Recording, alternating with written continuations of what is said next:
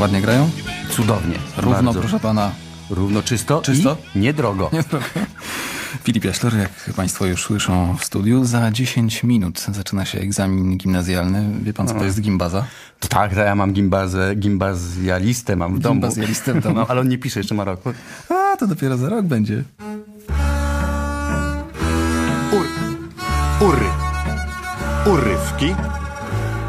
Urywki z rozrywki. Się pan będzie denerwował. Nic się nie będę denerwował i też, drodzy rodzice, nie denerwujcie się i młodzi gimbazjaliści, nie denerwujcie się. Ciekawe, kto wymyślił określenie gimbaza. Oni, oni. Oni sami? Na pewno oni. No dobrze, Teraz zaczynajmy. dżingiel otuchy dla was, kochani.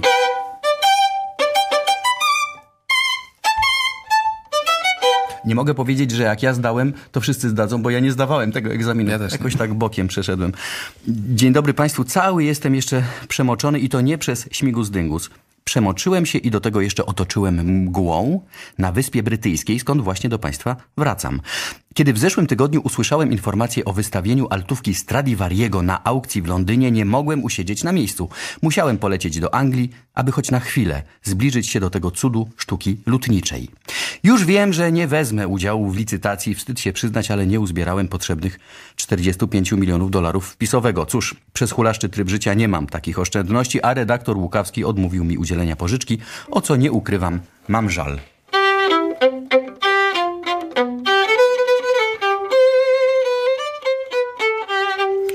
Po Się Londynie... dogadamy jeszcze, spokojnie. Tak? No, jest szansa? Będzie pan zadowolony.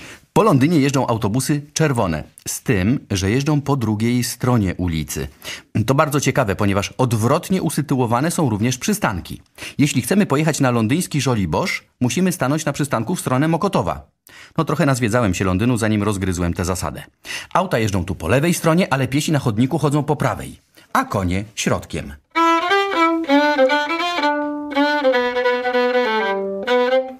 Londyn to szalenie międzynarodowa metropolia. Proszę sobie wyobrazić. W sercu Anglii, we włoskiej restauracji obsługuje polski kelner. Zresztą nie tylko Polacy przyjeżdżają tu do pracy. To, przepraszam za rym. Historia muzyki zna przypadek Niemca, który zostawił posadę muzyka na dworze elektora Hanoweru i przyjechał do Londynu. Wprawdzie nie do branży gastronomicznej, tylko na dwór króla, ale jednak. Georg Friedrich Händel, a po przeprowadzce George Friedrich Handel, bo o nim mowa, był pierwszym artystą, który zmienił obywatelstwo ze względów ekonomicznych. Gérard Depardieu był dużo później.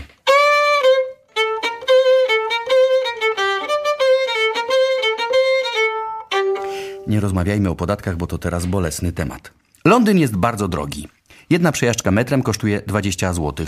Obiad w restauracji 400. Opowiadali mi ci, co tam jedli. Wszystko jest dwu, trzykrotnie droższe niż w Polsce. Nic dziwnego, że cena wywoławcza altówki to 45 milionów dolarów. U nas byłaby wystawiona za 15. To już znacznie lepsza cena. Tyle to by mi pan, panie Marcinie, co?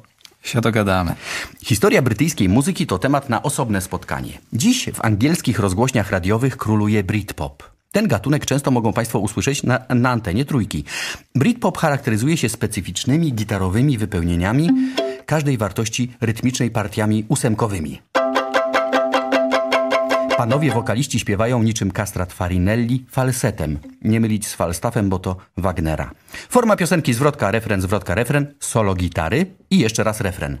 Aby Państwu przybliżyć tę formę muzyczną, napisałem fragment britpopowej piosenki.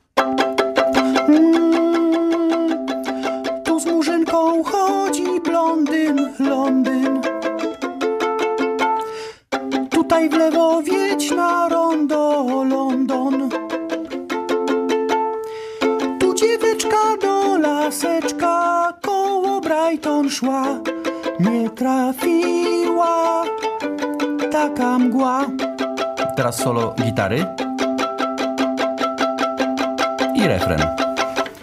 Tu dzieweczka do laseczka Brighton szła. Nie trafiła taka mgła. Dziękuję. Nie ma za co. Ale naprawdę oni tak śpiewają. Cała przyjemność po naszej stronie. To zaraz sprawdzimy właściwie. On posłucha. A nie, trochę jest jednak, wie pan, troszkę inaczej. No, czy- czyli to nie jest klasyczny Britpop, proszę pana. Ale, ale dobrze, dobrze. W dobrą stronę pan idzie. Elżbieta Malinowska, Grażyna Mędrzycka, Marcin Łukawski. Mówimy już do usłyszenia za 5 minut dziewiąta. No i zaraz zobaczymy, czy będzie takim grubym, Czy to taki... trzymam kciuki. No, trzy, cztery.